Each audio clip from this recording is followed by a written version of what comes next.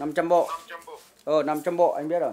Ngay từ mùng 6 Tết, anh Trần Văn Vinh, giám đốc công ty trách nhiệm hữu hạn sản xuất và thương mại Mechadan ở Phú Vinh, Phú Nghĩa, Trương Mỹ, đã tất bật đón nhận những đơn hàng Mechadan chuẩn bị xuất khẩu sang Trung Quốc.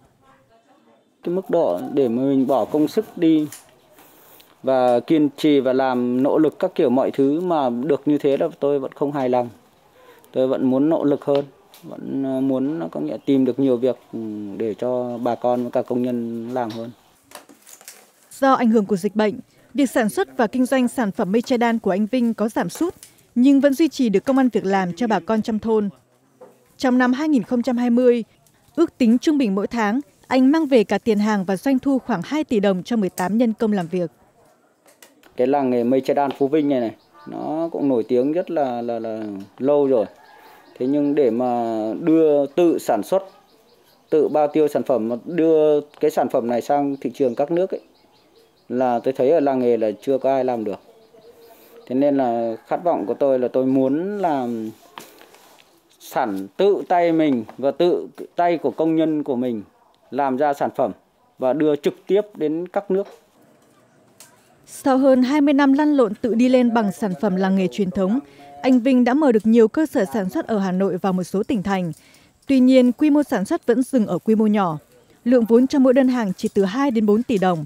Muốn mở rộng quy mô, hiện thực hóa khát vọng đưa sản phẩm Mechadan ra thế giới, cái khó nhất của anh chính là gần như không thể tiếp cận được dòng vốn với lãi suất hợp lý, rất khó vay vốn ngân hàng và không thể dựa mãi vào nguồn lực trong dân.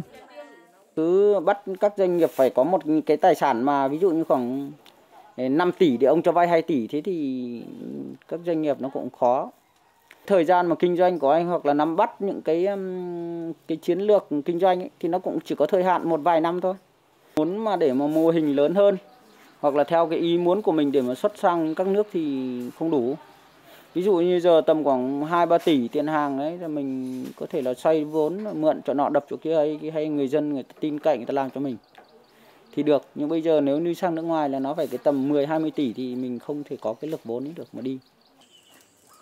Khó vay vốn để mở rộng quy mô sản xuất là vấn đề tồn tại từ nhiều năm qua của các doanh nghiệp. Đây chỉ là một trong những khó khăn mà những doanh nghiệp quy mô nhỏ như doanh nghiệp của anh Vinh đang gặp phải. Khát vọng vươn lên làm giàu của họ không phải chỉ có mỗi ý chí tự lực, kiên trì bền bỉ của mỗi doanh nhân, mà họ cần nhiều hơn nữa, những tiềm lực khác, đó là sự hỗ trợ từ phía nhà nước, cơ quan quản lý có cơ chế chính sách để tạo động lực cho nhiều doanh nghiệp mạnh dạn bước ra biển lớn có như vậy nền kinh tế của nước ta mới thực sự giàu mạnh từ rất nhiều những tinh thần tự lực tự cường như thế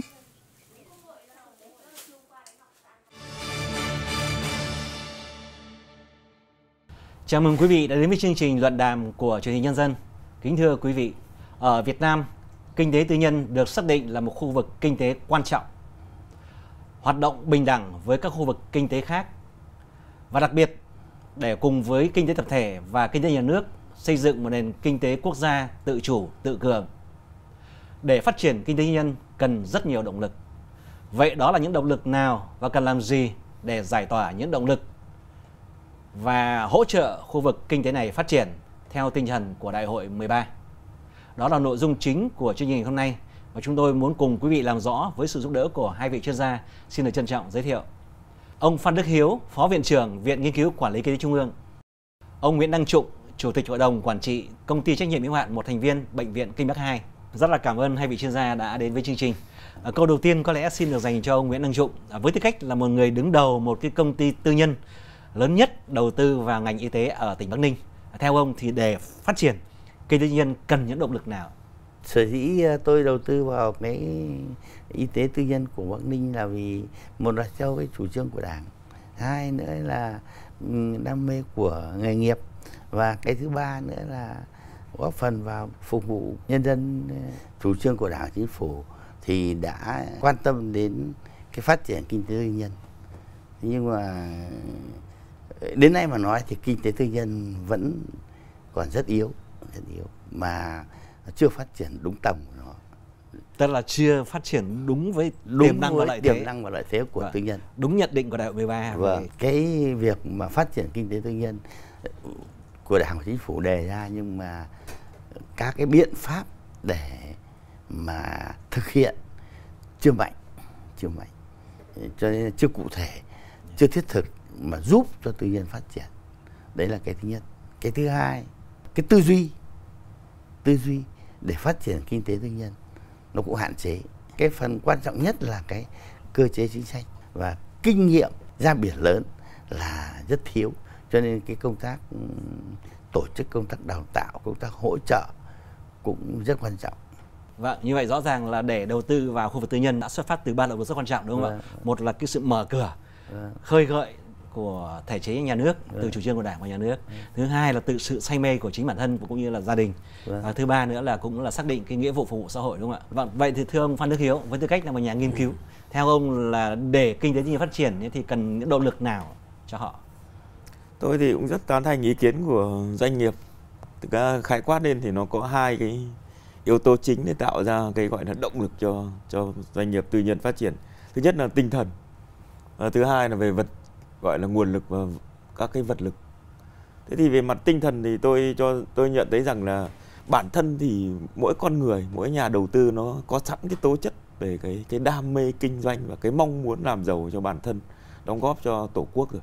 Còn lại, thế như vậy thì cái tinh thần ở đây là nhà nước làm gì với lại cái động lực đó là họ, nhà nước chỉ có thể xúc tạo ra những cái thứ xúc tác để khơi dậy mạnh mẽ hơn bằng những cái chính sách của nhà nước. Thì nhà nước có thể động viên được cái và khơi dậy được mạnh mẽ cái khát vọng kinh doanh chính đáng, cái khát vọng làm giàu, cái khát vọng đóng góp cho đất nước. Đứng từ góc độ nhà nước thì cái cái ở đây một thể chế, một thể chế tốt, thúc đẩy sự phát triển khu vực kinh tế tư nhân sẽ là động lực. Bởi vì tại sao tôi lại nói cái điều như vậy? Thì chúng ta đã từng có một cái bài học lịch sử. Chúng ta biết là cái cải cách thể chế và trực tiếp nhất của khu vực kinh tế tư nhân là luật doanh nghiệp. Chúng ta biết là cái đạo luật doanh nghiệp năm 2000 nó một cái sự thay đổi rất mạnh mẽ thay đổi nhận thức về tư duy trước đây, thể chế là chỉ cho phép doanh nghiệp được làm những gì mà nhà nước cho phép. Sang một cái nguyên tắc là doanh nghiệp được làm tất cả những gì mà luật pháp không cấm. Thì chúng ta đã nhìn thấy cái sự bùng nổ của khu vực kinh tế tư nhân nhé. trước đấy thành lập một doanh nghiệp tư nhân có thể mất một năm, thậm chí nhiều năm trời. Và gần như là một cái, ta tạm gọi thành lập doanh nghiệp gần như là một điều rất khó với rất nhiều những cái ý tưởng kinh doanh chân chính. Thì ra đời của luật doanh nghiệp năm 2000 nó giảm, cắt giảm tất cả các thủ tục việc thay đổi cái việc đăng ký doanh nghiệp cắt giảm xuống còn 10 đến 15 ngày thì chúng ta nhìn nhận thấy một năm sau khi luật doanh nghiệp ra đời thì cái số lượng doanh nghiệp được thành lập nó đã có thể bằng 3 4 năm trước và chỉ 5 năm sau khi thực thi cái luật doanh nghiệp thì số lượng đã bằng cả 10 năm trước đó. Thì chúng ta thấy rằng là cái thể chế là rất quan trọng. Vâng, rất là cảm ơn ông Hiếu. Như vậy là rõ ràng là cả hai vị chuyên gia đều khẳng định rằng là để tạo động lực tăng trưởng đó, cho kinh tế tư nhân đó, nó có thể chia ra nhiều lát cắt khác nhau hoặc là theo các yếu tố đầu vào của quá trình sản xuất kinh doanh hoặc là theo những cái lát cắt rất là lớn vĩ mô như là ông Hiếu có nói đó về mặt tinh thần và về mặt vật chất. Tinh thần đó chính là khát vọng làm giàu, đó là cái động lực kinh doanh từ phía bản thân nhà doanh nghiệp tư nhân. Thế còn là yếu tố thể chế, vật chất ở đây chính là những cái thể chế, những cái nhận những những những những cái chính sách rồi những cái cơ chế để phân bổ các nguồn lực cũng như là các thể chế quản lý khu vực tư nhân đúng không ạ? Và rõ ràng là trong các yếu tố này thì yếu tố quan trọng nhất chính là vấn đề thể chế.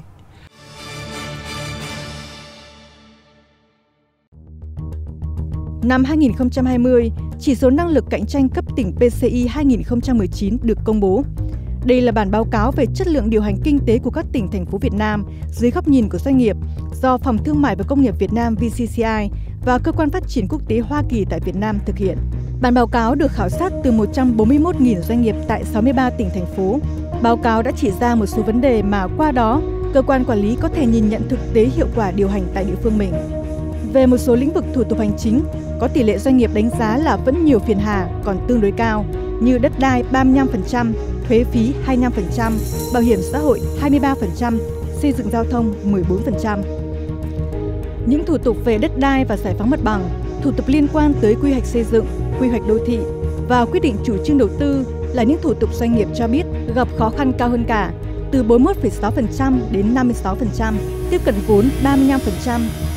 Dù đã có nhiều cải thiện nhất định, nhưng vẫn có 18% doanh nghiệp lo ngại trước vấn đề biến động của chính sách pháp luật.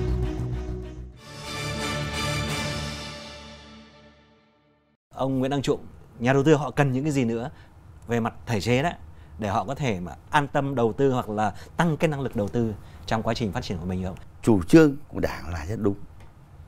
Các nghị quyết rất đúng nhưng trong cái tư duy của người thực hiện một từ cơ, địa phương cho đến trung ương, một số ban ngành thì vẫn coi trọng cái kinh tế nhà nước và cái kinh tế tư nhân chỉ là thứ yếu. Vì cái cái quan niệm như thế cho nên rằng cái tư nhân nó cũng ít nhiều ảnh hưởng. Nhà nước bảo lãnh cho cái doanh nghiệp nhà nước vay tiền, vay vốn của nước ngoài, thậm chí vay vốn của nước ngoài. Nhưng nhà nước tư nhân có được bảo lãnh đâu. Cái rào cản để phát triển kinh tế tư nhân chúng ta phải tìm đến. Nguyên nhân, cái này thì nó, cái cái tiêu cực, tham nhũng, vặt, nó cản trở rất lớn đến cái phát triển của tư nhân. Làm cái gì cũng phải tiền. Không tiền không được. Xin cái dấu phải đóng, cũng phải cũng phải tiền. Bây giờ đi xin thủ tục, tất nhiên là ra thành chính công, ra một cửa. Nhưng đúng mà nói là là theo 15 ngày phải trả nhưng mà có khi đến hai ba tháng không xong. Là vì mỗi lần ông giả lại ông bảo cái này chưa được thiếu cái này không được thiếu cái kia không được. Ờ, lại phải phải làm lại làm lại nó mất rất nhiều thời gian. Cái thứ hai nữa là nhiều văn bản nhiều văn bản chồng chéo nhau và nhiều cái nó quy định nhiều cái văn bản quá nó thực hiện nó nó nó, nó, làm khó cho doanh nghiệp. Tôi muốn nói là phát sinh ra những cái cái ờ, văn bản mới còn cứ bỏ dẹp nó đi nhưng thực ra có dẹp ở đâu thưa thưa Phan Đức Hiếu ở tư cách nhà là một cơ quan mà góp phần rất, rất tích cực và vấn đề xây dựng hoàn thiện thể chế ở bộ cách đầu tư ông nghĩ sao về những cái điều mà ông Trụng vừa nêu ra? Có cần phải xử lý nghiêm khắc những hiện tượng nhũng nhiễu tham nhũng vặt như là ông Trụng có nêu không ạ? Khi chúng ta có một thể chế tốt thì đã nó góp phần rất lớn vào cho cái cái cái việc mà cái cái cái nhũng nhiễu đấy tự khắc nó đã biến mất đi. Thì như vậy thể chất lượng của thể chế rất là quan trọng Vậy. trong cái việc này. Tức là quy quan... trình tối tối thiểu nó sẽ giúp giảm bớt những cái hành động nhũng nhiễu. Hoặc là bãi bỏ những cái việc mà nhà nước can thiệp không hợp lý vào trong cái hoạt động sản xuất kinh doanh của doanh nghiệp. Cái phương thức quản lý có lẽ phải khác đi. À, tôi lấy ví dụ như vậy. Ờ, như vậy rõ ràng là một vấn đề đặt ra trong thể chế chúng ta hiện nay. Nói như ông Trụng vừa nói đó là dường như vẫn còn những cái khúc mắc nó khiến cho thể chế chưa thông suốt. Và đặc biệt vấn đề định kiến nó đang trở thành một cái một cái nút. Và thưa ông Phan Đức Hiếu định kiến đó là gì? Ông có thể nói rõ.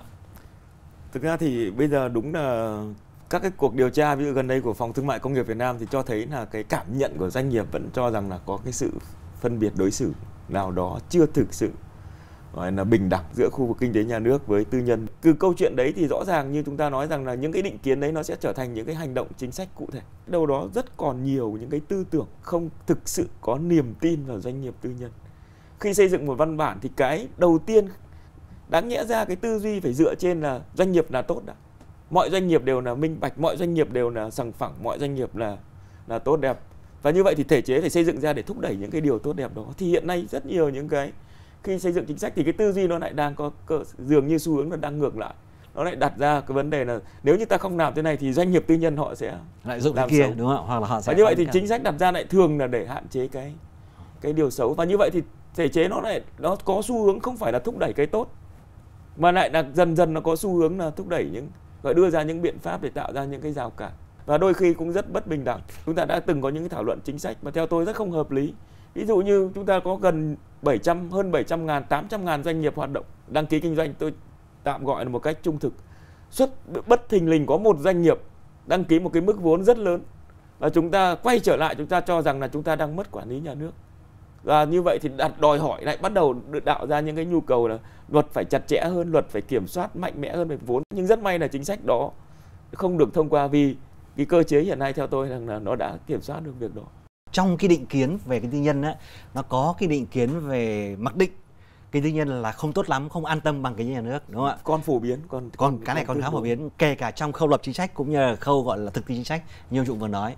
Ví dụ như là về mặt quy mô nỗi ông Hiếu có nói vấn đề là bùng lên một cái doanh nghiệp cực lớn về tư nhân là lập tức người ta bắt đầu đặt câu hỏi chấm to tướng đúng không ạ? Tiền ở đâu ra đúng không? Và ờ, rõ ràng là chúng ta nhìn nhận khu vực tư nhân uh, dường như không không thân ái lắm bằng khu vực nhà nước hoặc là khu vực FDI đúng không ạ? Nhất là càng không thân ái lắm so với khu vực tập thể. Nhưng mà nhìn thẳng vào khu vực tư nhân ấy, thì liệu ông có cho rằng ấy, vẫn đang có một sự phân biệt đối xử nhất định giữa khu vực mà các doanh nghiệp vừa và nhỏ và một bộ phận các doanh nghiệp lớn các tập đoàn tư nhân lớn theo ông có điều đó hay không ạ thực ra nước ta cũng có rất nhiều những chính sách hỗ trợ doanh nghiệp, gọi là nhỏ, siêu nhỏ hay là doanh nghiệp nhỏ và vừa. Và các chính sách chủ yếu là tập trung cho các cái hỗ trợ cái khu vực doanh nghiệp nhỏ và vừa. Nhưng nếu như xét về mặt các cái hành động trên thực tế thì đâu đó nó có thể, cũng có những cái trường hợp là những doanh nghiệp lớn có thể họ có những cái cái cái nguồn lực tốt hơn về mặt con người, nên là họ có thể có những cái thuận lợi hơn trong cái việc tuân thủ luật pháp đấy là cái mà, và cái việc mà họ cũng có thể có những cái quan hệ tốt hơn đối với lại những cái cơ quan ờ, công quyền so với các cái doanh nghiệp vừa và nhỏ. Đôi khi do cái cái thể chế nó tạo ra cái điều điều như vậy. Đấy là cái mà, và đôi khi cái bất bình đẳng chúng ta phải hình dung ra, nếu như khi xây dựng một cái chính sách mà chúng ta không phân biệt ra các cái tác động cho các cái nhóm đối tượng khác nhau thì đối với một cái chính sách chúng ta đặt ra một cái rào cản nào đó pháp lý, một cái cái cái quy định x gì nào đó đối với doanh nghiệp lớn thì có thể họ rất dễ dàng tuân thủ. Nhưng nếu như là một sinh viên mới ra trường có một khát vọng để mở một công ty dược kinh doanh, một cái ý tưởng không được thực hiện, chúng ta có thể bỏ sót một doanh nghiệp lớn trong tương lai. Như vậy là đôi khi cái cái sự phân biệt hay là nó một trò phần trong tư tưởng thì chúng ta khó đoán, nhưng khi thể hiện ra thì rất nhiều chính sách hiện nay nó đều tạo ra cái sự tác động không cân xứng, tôi gọi là không cân xứng. Cứ đề ra mà giảm bớt các cái thủ tục hành chính như các cái giấy phép đi. Nhưng mà giấy phép con lại đẻ nhiều. Tôi mà thì, tôi thì cho giấy, rằng giấy phép con đẻ ra thì lại khó cho doanh nghiệp ấy Dạ. thì tôi cho rằng cần có một cơ quan để thực thi việc cải cách thể chế. Và cái này thì rất nhiều các nước đã, đã cho cái kinh nghiệm rất tốt. Hàn Quốc có một văn phòng về cải cách thể chế do thủ tướng trực tiếp đứng đầu và có quyền đệ trình việc về việc bãi bỏ các cái quy định không cần thiết. Chứ không phải là như cách làm chúng ta hiện nay là muốn bãi bỏ một cái gì thì chính phủ lại kiến nghị cái bộ đấy trình lên tôi. Theo tôi trong thời gian sắp tới thì như nghị quyết của đại hội 13 vừa nêu thì phải có một cơ quan trước hết. Là có cơ quan hỗ trợ cho doanh nghiệp thì trước hết phải có một cơ quan đứng ra đủ thẩm quyền để thực thi cải cách một cách đầy đủ nhanh và đồng bộ.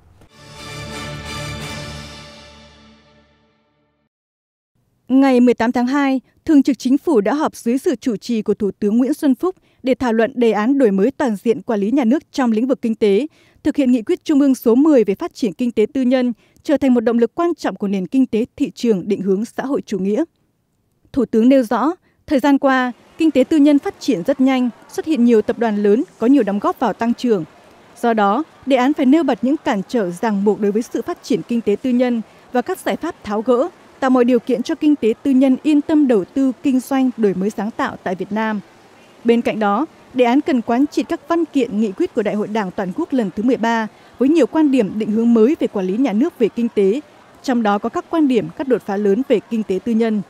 Sự chỉ đạo của Thủ tướng đã nhận được sự đồng tình ủng hộ từ phía cộng đồng doanh nghiệp.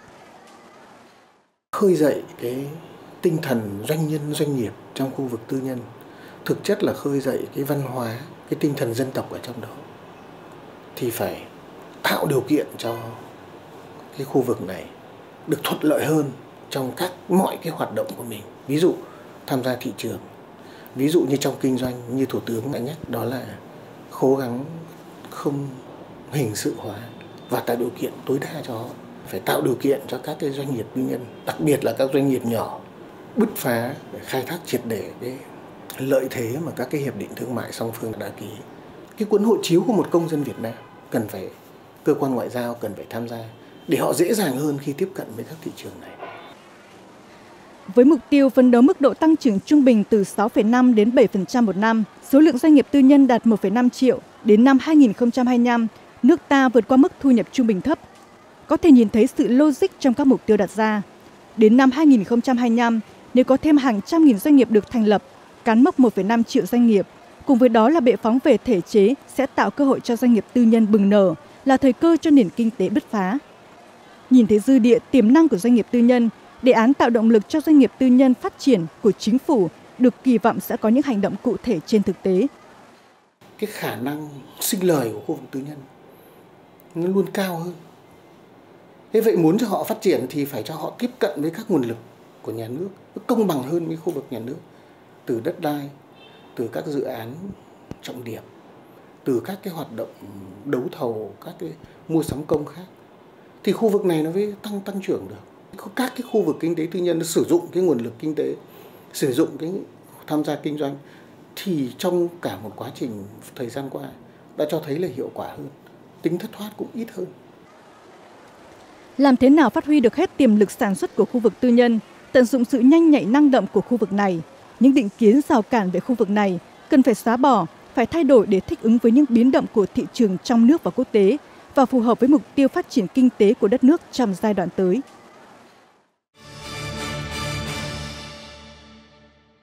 Như vậy chúng ta đang đến cái phần cuối cùng rất quan trọng vâng. của chương trình ngày hôm nay chính là vấn đề về tạo cái thể chế hay là tạo động lực để mà phát triển cái năng lực cạnh tranh. Với tư cách là một doanh nghiệp thì họ cần phải nâng cao năng lực cạnh tranh. Thế thì theo ông là để mà tăng cái năng lực tiếp cận của từng doanh nghiệp hay là của khu vực tư nhân ấy, thì theo ông là cần phải chú ý những vấn đề gì ạ?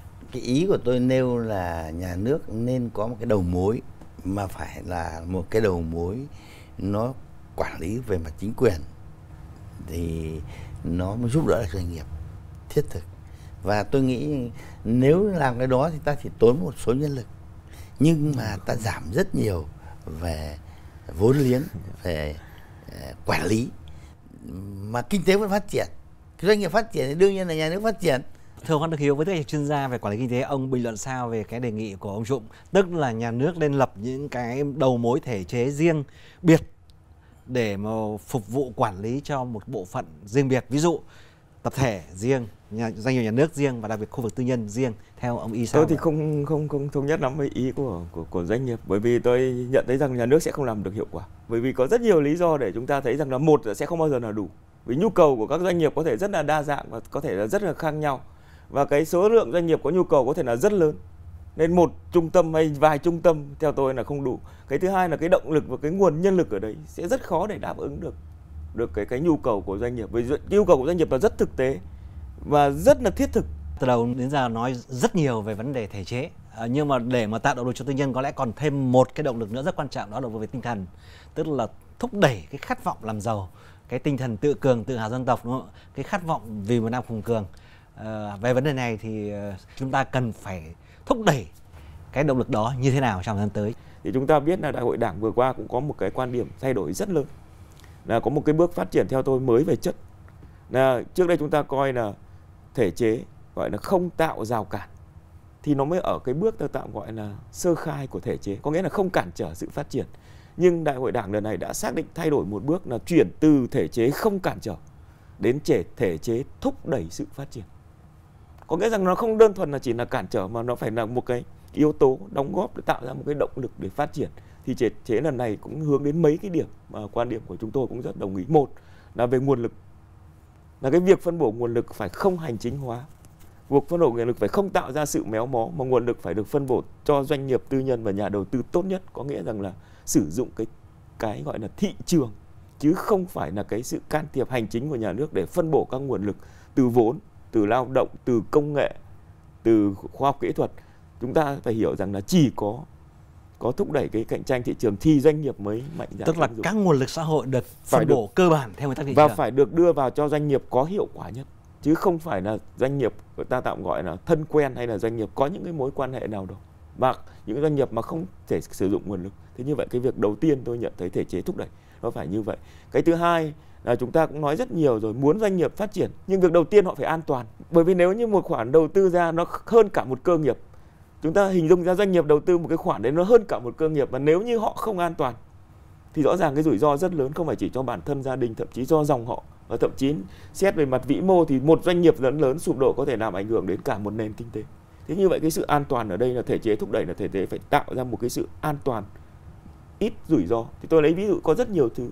Doanh nghiệp có thể bỏ ra hàng năm trời, đầu tư rất nhiều tiền để thực hiện một cái hoạt động nghiên cứu ra một cái sản phẩm. Nhưng thể chế không bảo hộ được cái quyền sở hữu trí tuệ.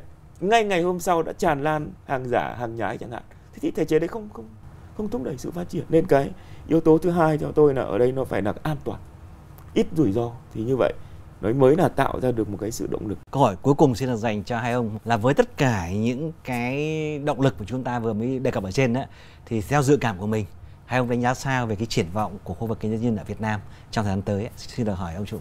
Kinh tế tư nhân vẫn phải được đầu tư đúng mức nó mới phát triển được và ừ, đại hội 13 vừa rồi cũng đã nói rất nhiều về vấn đề kinh tế tư nhân. Chỉ có cái điều là như tôi nói đấy là các cái giải pháp làm sao để tháo gỡ những cái vướng mắc dạ. ờ, để giúp cho kinh tế tư nhân phát triển. Doanh nghiệp tư nhân chắc chắn sẽ phát triển ngay cả khi có một môi trường không tốt thì họ cũng sẽ phải phải bằng cách này cách khác vì vì cái sự sống còn của họ họ cũng sẽ phải phát triển. Nhưng nếu như để cho họ có một cái môi trường tốt thì họ sẽ phát triển lên rất nhiều. Tuy nhiên để thực hiện thi cái cái cái điều đó thì tôi nhận thấy là giải pháp đã có rất nhiều Chúng ta nói rất nhiều về cải cách thể chế, tôi tin rằng phải nói từ 10 năm nay và thậm chí lâu hơn nữa. Cái vấn đề lớn nhất, thách thức lớn nhất trong thời gian tới về cái cái gọi là tạo thể chế thúc đẩy phát triển là làm thế nào để cải cách một cách nhanh nhất, đồng bộ và hiệu quả. Chứ nếu như chúng ta chỉ có bộ này cải cách mà bộ kia không cải cách hoặc chậm cải cách thì rõ ràng một cái thể chế đôi khi cũng không tốt cho doanh nghiệp. Nếu như cái cải cách không đồng đều nó còn lại còn làm cho cái câu chuyện của doanh nghiệp phức tạp hơn rất nhiều. Vấn đề là tổ chức thực thi cái giải pháp đó một cách đầy đủ, nhanh, quyết liệt, đồng bộ thì khi đó doanh nghiệp tư nhân mới thực sự phát triển theo đúng cái tiềm năng và cái mong muốn của của chính bản thân doanh nghiệp cũng như chính phủ và nền kinh tế. Vâng, rất là cảm ơn hai vị chuyên gia đã đến với chương trình và đã có những cái phân tích, những cái chia sẻ, đặc biệt là những cái đề xuất cũng rất là thẳng thắn, trực diện. À, thưa quý vị, à, phát triển kinh tế nhân không chỉ là động lực mà còn là xu hướng chung của thế giới, là yêu cầu cấp thiết của Việt Nam trong thời gian tới. Hơn nữa, ở Việt Nam, một khu vực kinh tế tư nhân phát triển nó còn là thước đo đánh giá cái năng lực, cái hiệu lực, hiệu quả quản lý nhà nước đây cũng là một trong những cái ờ, tiêu chí để mà phản ánh cũng như là đo lường cái năng lực mà chúng ta thực hiện đưa nghị quyết đảng vào cuộc sống từ đại hội 13 này. Ờ, để phát triển cái tư nhân, việc tạo động lực cho khu vực này là cực kỳ cần thiết. Và những động lực thể chế cũng như những động lực tinh thần đều quan trọng. Trong đó đặc biệt động lực thể chế cần phải tìm mọi cách tháo gỡ mọi rào cản tự do hóa tối đa và giảm thiểu tất cả các chi phí cho doanh nghiệp trong quá trình tham gia và rút khỏi thị trường. À, nhận diện và xử lý nghiêm những cái nhũng nhiễu, những cái rào những những cái hành vi cản trở gây khó cho doanh nghiệp và đặc biệt cần có những cái thay đổi cần thiết để mà tổ chức lại khu vực tư nhân à, tạo thành những cái tổ hợp, những cái tập đoàn đủ sức cạnh tranh cả trong nước và quốc tế.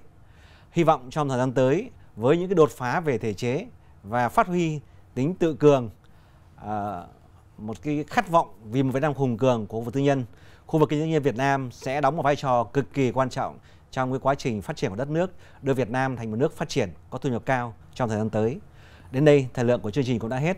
Rất cảm ơn quý vị đã chú ý theo dõi. Xin kính chào tạm biệt và hẹn gặp lại trong chương trình tiếp theo.